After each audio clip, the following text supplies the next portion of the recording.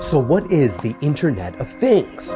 Well, most of you might be thinking of your car, your phone, and even your fridge, all connected to the internet getting regular firmware updates. Your fridge could know when you're about to be out of milk, order you new milk from Amazon, and have it delivered to your door even before you need it. And you would be right, in part. But the Internet of Things don't just include electronic devices, it includes all things. Even animals can benefit.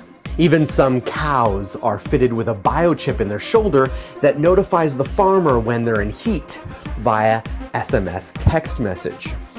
Hmm, I mean, you've got to be wondering what that would look like, right? Uh huh. Uh huh. Oh, wait, wait. Notification coming in. Oh, yeah. Bull! Bull! That heifer, she's in heat. She wants your babies. Go get her done. Whoa, Bull, gentle now. Slow down, Bull. Oh, oh, man. Oh, oh that poor heifer.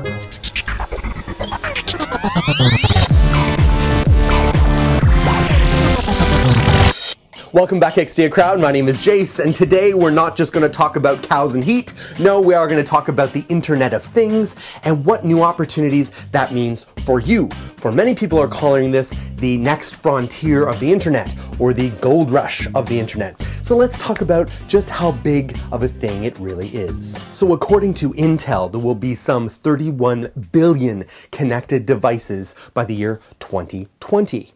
And currently, a family of four on average has 10 connected devices. By year 2022, that is going to be upwards of 50 connected devices per household. And for something a little more current, by next year, 2014, mobile subscriptions will exceed the number of people on the planet. So all those people and all those devices are generating data, right? It's big, it's huge, but that is just really the tip of the iceberg when you consider the following. Now, when you consider the estimated 4,000 exabytes of data that's currently being generated or has been generated over the past 100 years, this has been generated by human beings via keyboards or uh, by us creating our own video. But we're human beings with limited time and resources, and we consider 4,000 exabytes to be big data. Imagine when everything we interact with is connected and has an ISP uh, address and is uh, has the uh, M2M technology, that's machine to machine technology, and each day and hour generating new data. The amount becomes just more than our human minds can comprehend. And this is where, if you've been watching these videos and you call yourself a problem solver and not just a programmer or an IT pro, you will know where the real value is.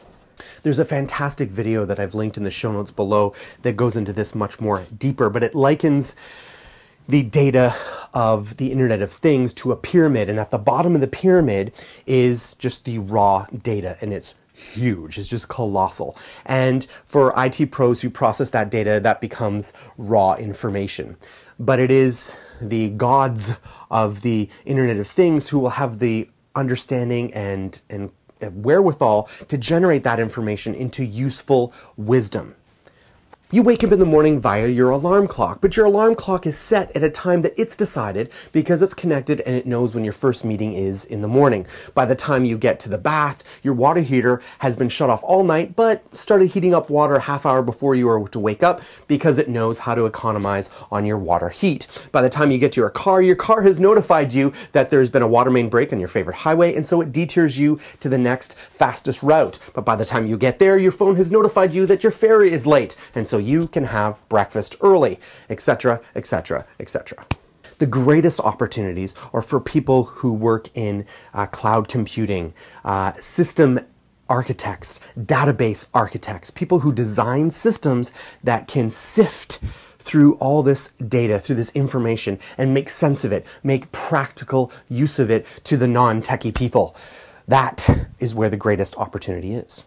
The other added skill that will be needed in the Internet of Things is soft skills. This was mentioned in the uh, articles that I linked below, and it was something I hadn't really thought of before. You see, as it stands right now, most people who have to use a smartphone or a desktop computer, anytime something technically goes wrong, they have to call someone else to get help for them. They're not very tech savvy. Most of the world is not tech savvy like you or I, and so they end up calling people like you or me.